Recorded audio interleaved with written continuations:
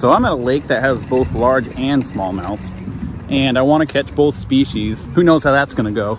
But it's actually the middle of the day and I already know that I've uh, I've caught quite a quite a few nice fish. So it only took me three attempts, but I finally got this fish. Um, it's a nice female on a bed, probably close to four pounds. I may or may not weigh it, but that's where they spawn.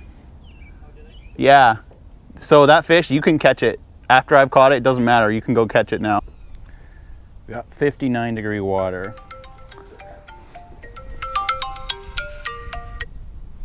Very nice fish. Did you see it? Did I send that to you? Yeah. Oh, good. What are you catching on? Senko.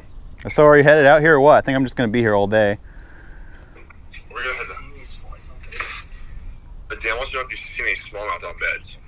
Yeah, there's lots of smallmouth on beds, and I've seen a couple largemouths too. I think the largemouths might come shallow later in the day because it's the water's going to be like 65.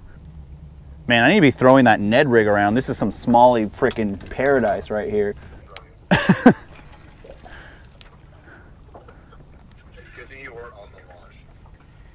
I mean, luckily I had already launched my boat and stuff, so I had something to do while I waited. oh, fish on! It's tiny, but but I got one on video again. That's tight. Smallmouth.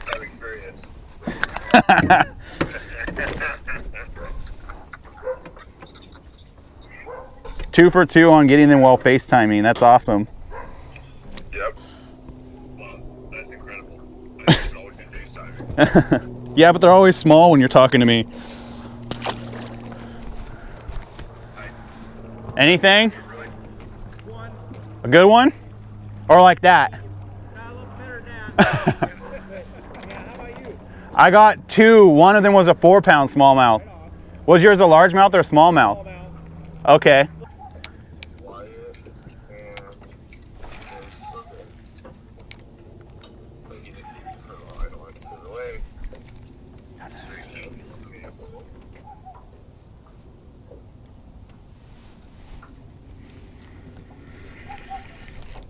Oh, no, another fish on. This one's bigger.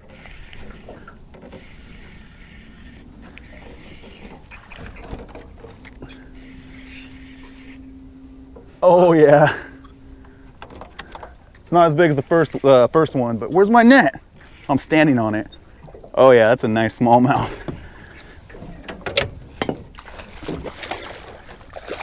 Woo! About a three pounder. About a three pounder. See, I'm, on, I'm gonna be in your video twice. I'm gonna be in your video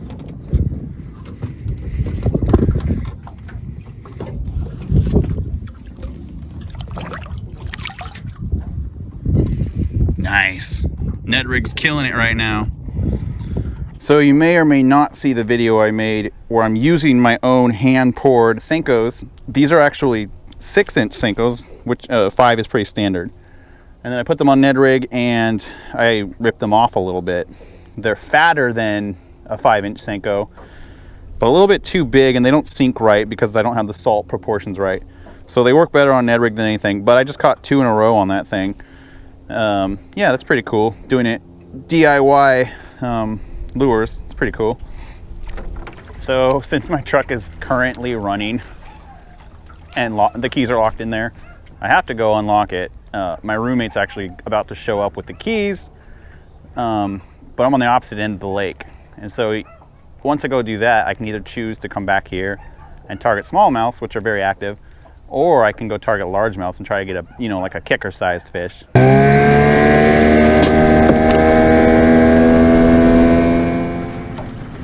Is there a truck in the parking lot that's just idling? Yes. Good, no one stole it. Uh, I locked my keys in there because someone called me as I was jumping out and I did this like reflexive thing, just like boop. My roommate just got here with my key though, my other key.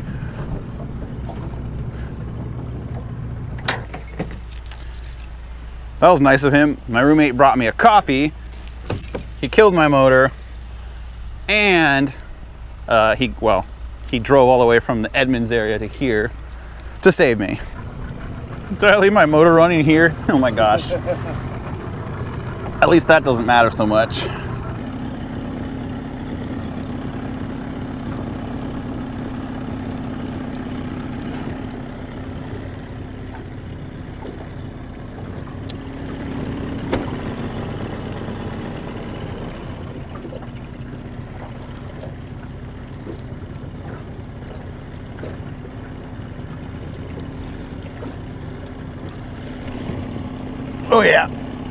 That's a good one. Might be a largemouth this time. Nope, it's another smallie.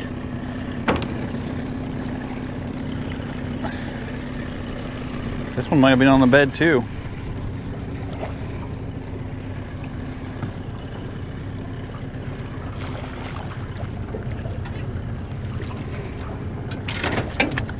Wow. That's funny. I got snagged on that dock, and that's the only reason I got this angle on this fish. But then I saw how it like tapers down right to this row of pilings, and I was like, "Ooh, that's a good spot." And this one might have been on a bed too, even. So that last fish came on one of my hand poured Senkos. They just don't have the salt they're supposed to have. And so what I did, which I should have got on video, is I put a nail weight, a tungsten nail weight in, in the body of this lure. Not in the front, more like right here. Just so when it falls, it doesn't go straight down like a, like a Ned rig. It more like falls like a tube, like kind of at an angle. And if that fish was on a bed, it probably doesn't really matter what you use. But, but again, using something you made yourself is satisfying. So I'll take it. This is shaping up to be the best smallmouth bass fishing day of my life but somehow I'm still not satisfied. And I think it's because I'm seeing some really big largemouths and I haven't caught a single largemouth yet. The whole point of this fishing trip now is to catch a big largemouth on top of the three, four pound smallmouths that I've been catching. Um, this is like a really good day at Lake Washington, but I'm not at Lake Washington. Oh yeah, big bass came out, saw me. It was definitely gonna bite. Saw me, decided it wasn't gonna bite.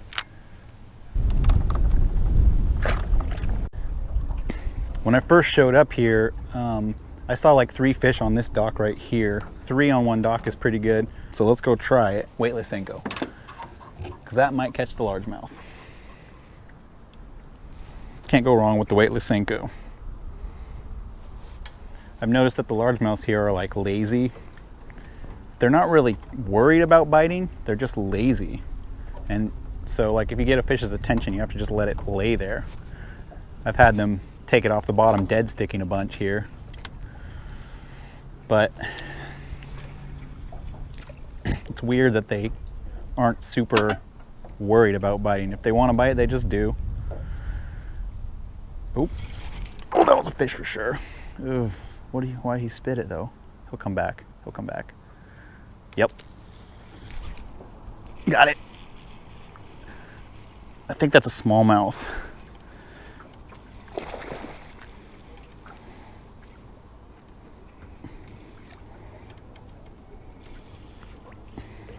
Another smallmouth.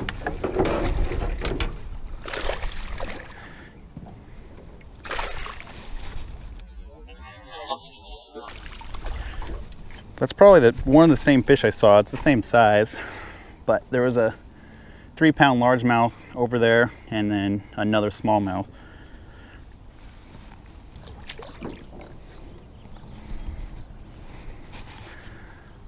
But I'm hoping that a largemouth sees this above it and comes a good 10 feet up.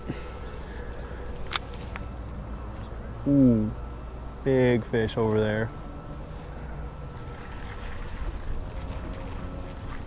Is that a duck? Oh, that's a big, big largemouth. I can see its back. What the heck? How am I gonna get to it without scaring it? Oh, it's spawning or something. Oh, this is crazy. All right, I'm gonna throw anchor or something if I can. Whoa, or is it a carp? It could be carp, but staying very local, like in one spot. Um, which means it's probably a bass. Carp move around a lot more than that.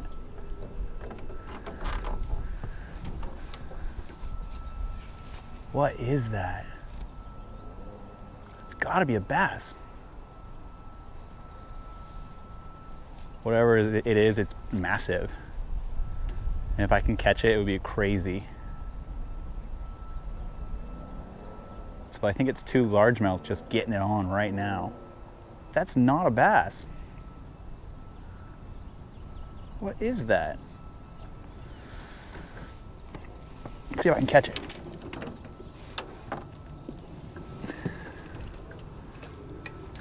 If that's a bass, it's gonna break my line so easily. I've only seen one so far.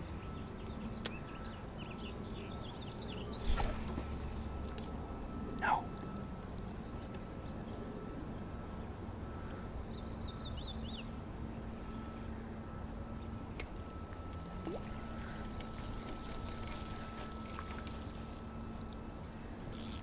That could be a catfish.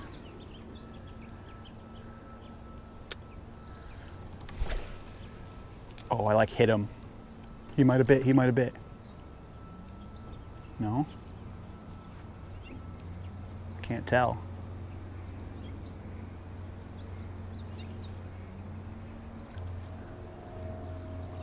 Yeah, it's like quivering. It just started quivering.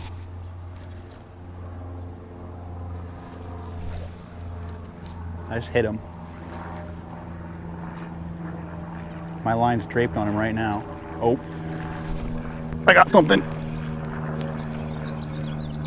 This might be the smaller of the two. I think this is the smaller of the two. Holy crap, it's not small.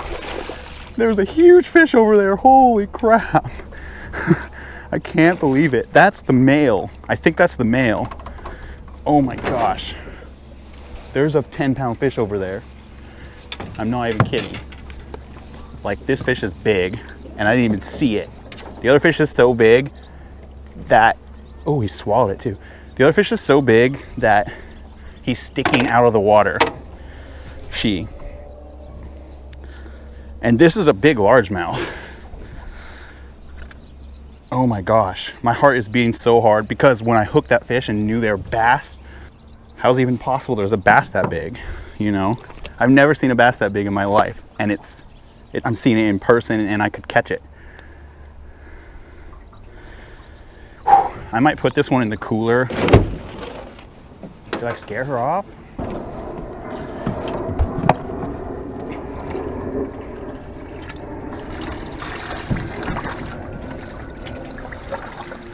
Um, so this fish isn't small. That fish is a three pound male largemouth. And I casted basically on the female's back. And the male made apparent that they're a spawning pair of huge bass. The males are never that big. Oh, my heart's beating so hard. Um, I've heard that if you put the male in a cooler or in a live well and then go try to catch the female, she uh, she might bite if you can get it in there. I wish I could get it on video, but but they'll actually get between the lure and each other and block each other from biting.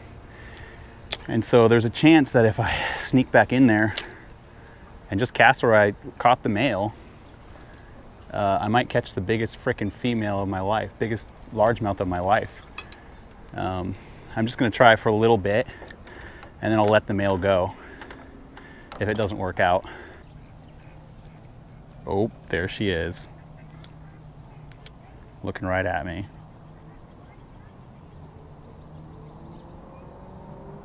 Hold. That might not even be the one. It's huge though.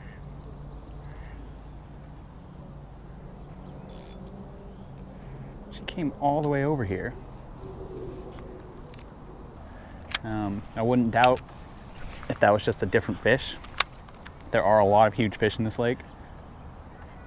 But now I'm gonna go check. I wanna see her. They're not locked. But they will be. Betcha they will be. I might come back. Huh. Well, it's interesting.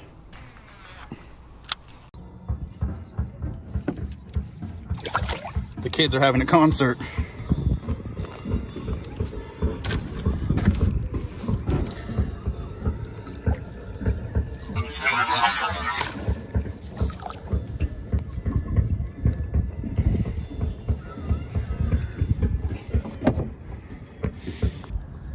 Well, I got what I came back for, a largemouth.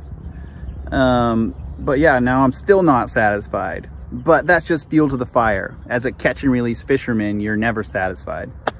Uh, but yeah, that female, I think I saw her um, cruising around. She was about a seven or eight pounder. Yeah, would have been the biggest fish I've ever caught, but not as big as I first thought. That rhymes it was just pretty cool that she was like fully exposed like that. I doubt I really picked it up on camera, but I'll probably give like a zoomy, grainy uh, zoom in just so you can see what I was seeing. Um, yeah, I wish I had a camera with some zoom on it because it was actually pretty close to me and actually really making my heart thump. So anyways, um, yeah, I caught five fish, probably like a three pound average for each fish. So about 15 pounds, which is like a tournament weight. So that's pretty satisfying. But yeah, thank you for coming along. Thank you for watching. And until next time, peace. Nice to meet you. Fish, man. I gotta get this on video. All right, man. Check it out. what you got? Oh, that's a nice ling. Yeah, that's this boat. That's Isn't that cool? Gorgeous ling. I know. oh my. And then she caught a 29. That's 34. She caught a 29 incher too. that's a nice fish. Yeah. That's a nice fish.